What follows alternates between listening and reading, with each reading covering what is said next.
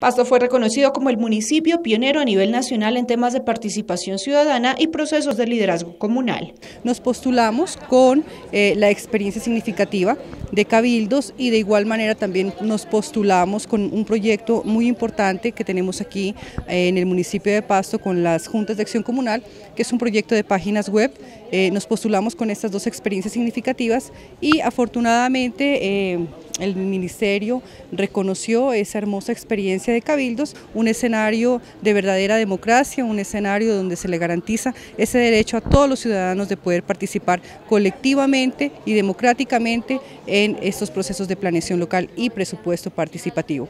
El compromiso es continuar el próximo año con iniciativas apoyadas además por el Gobierno Nacional. Cualificación de nuevos liderazgos, la cualificación de nuestros líderes y de igual manera pues hay un premio importante, es un bus un bus que nos va a permitir, eh, es una herramienta pues que nos va a permitir, digamos, eh, avanzar y nos va a permitir llegar a esas zonas donde podemos desarrollar todos los procesos eh, de participación y nos va a permitir también, pues, digamos, colectivamente poder desarrollar estrategias de participación que nos permiten el desarrollo integral de nuestras comunidades.